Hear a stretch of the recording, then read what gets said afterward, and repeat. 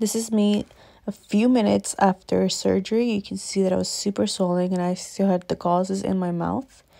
And then this is after I took the gauzes off. So the swelling was actually not that much. So here I am. This is right after my surgery. I was home already and I'm just showing y'all. I couldn't talk because my lips were numb. The swelling on my cheeks. Um, you can see that my right cheek is more swollen than my left one. Um, so this is kind of graphic, but I just want you guys to see how bad the bruising got. So it was super purple. My neck was all yellow. So here I am showing you guys the bruises. This is day one. You can barely tell the bruises. Um, this is day two, and you can kind three actually. You can kind of see the bruises. They're starting to appear more. That's my stitch right there. This is how swollen I was. My cheeks are, were still very very swollen. Um, this is how my face looked from the front. You can see my cheeks were super swollen. Um, this is also the bruises day four. Um, my cheeks super swollen. And this is a front view of my face. My cheeks again super swollen. My even my nose was a little more swollen. My bruises again they weren't that bad there. And this is as worst as they got i believe. So yeah and then this is my before picture before my surgery. That's how my double chin looked. So embarrassing. And this is a recent picture i took. This is after my surgery. Most of the swelling is gone. So today is about like a month. And one week after surgery, like about five weeks, I believe, if I'm not mistaken. Um, so I'll probably like put the before and after pictures right after this. Um, yeah, so um, I did get my surgery in Mexico, in Guadalajara, just because um, it, it was more convenient for me like i could go visit family and get my surgery at the same time and also it was a little bit cheaper than here in the us and i was originally gonna get kybella shots here in the us but um like all like the before and after pictures that i saw of kybella they were like with girls who had a like barely any double chin really. So that's why i feel like their results were super like noticeable after like a few vials like with me i probably would have needed like five or more vials and it wasn't immediate. Like it was gonna take months for like the final result. Like a lot more months than this liposuction for the final results to finally set in. And so like five vials or more and each i believe is like I'm not mistaken like 700 if i'm not mistaken like around 700 there have to be at least yeah probably like 700 each. I don't remember the price of it. So that times five was already like 3500 dollars. Um so yeah. So then i ended up like just a better like like a better way for me to get the result that i wanted and faster and cheaper in the long run was gonna get was gonna be to get a liposuction just a neck liposuction. And I also got buccal fat pad, uh, my buccal fat pads removed at the same time because, um, like I did have like, I still do because the swelling is not completely down, but I did have like, well, do have like, um, like cheeks, you know, like baby cheeks. Um, so yeah, and then when I smiled, it was gonna be, you can kind of see like the line here. I still, like, yeah.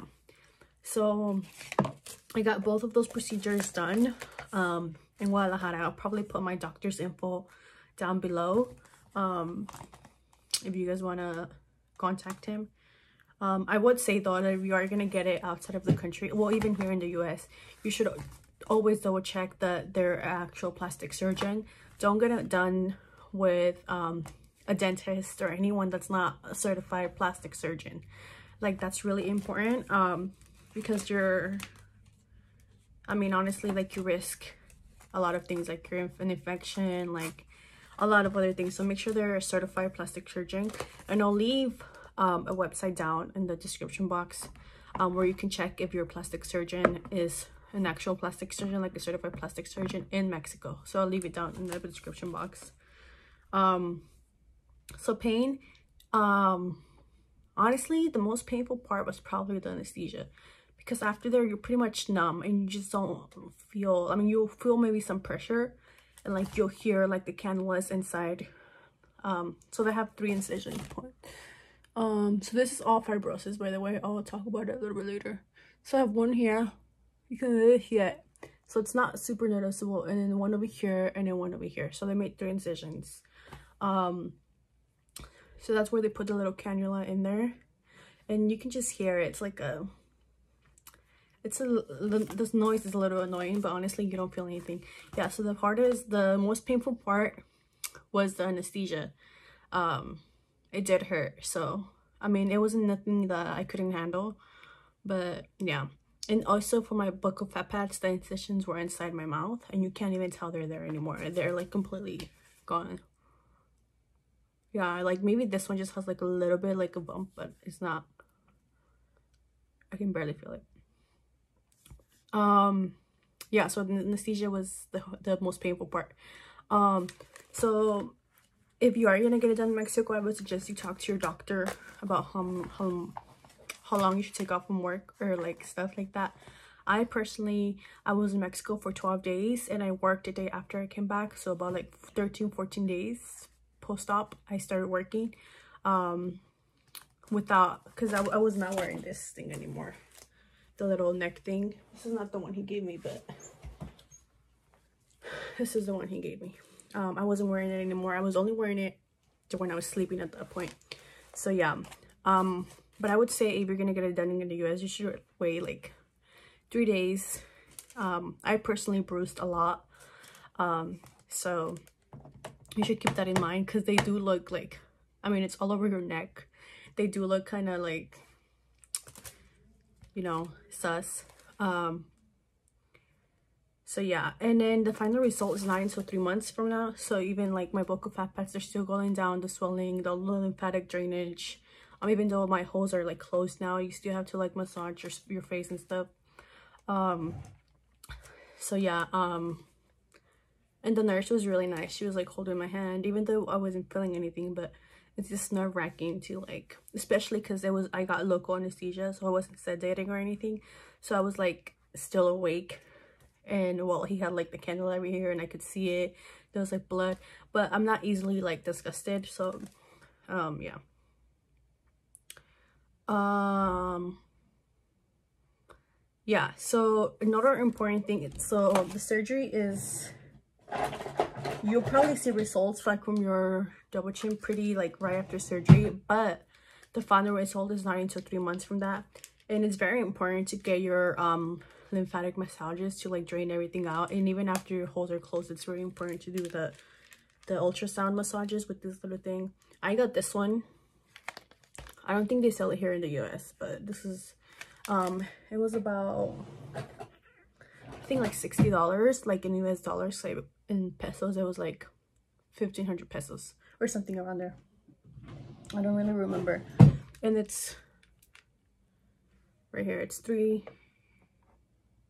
high low medium and it's and i have this uh gel for the ultrasound to work so it's very very important to get this because honestly like even today you i haven't done my massages in like two weeks which I mean, sorry, two days. I should do them every day. But it makes such a difference. Like, you will see, like, it makes it more firmer. Like, it's, all this fibrosis goes down every time you massage it. So you can kind of see, like, I do have fibrosis right here. So that I have to, like, massage every day and use this. So it's slowly going to start going away once I'm, like,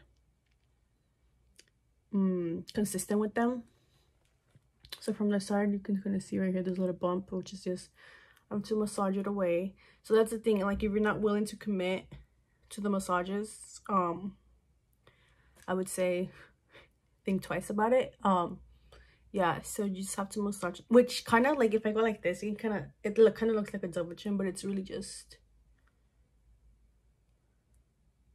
and it's still a little bit sensitive. Um, to this day like like if i were to hit it like it would there's a little bit of like pain but nothing that like if you touch it like honestly like probably about a week or two ago I started to get all like touch right here and I had a lot of loose skin mind you because I did have like pretty like big double chin for like my weight and my my height everything. Was pretty big. So the doctor was telling me it was probably genetic but nobody in my family like immediate family really has it. So I don't really know where it came from. Maybe it's just the way I carry the weight like it goes to my face. I don't really know. Yeah so this is gonna start going away soon. You can't really tell like I feel like you can tell right now because of the lighting and everything but if, when I'm out and about like yeah. So this is very important and I think that's oh the price. So I paid about um I it was the conversion is about a thousand dollars plus the massages which you should get and those are separate and then your masseuse or whatever does them should be able to tell you the price. So I paid about a thousand US dollars. Um yeah but I'm not sure about the price because I did make my appointment last year so like fall last year so maybe his prices have changed. Um you should inquire with other plastic surgeons though. Um but that's around like the price i think. Yeah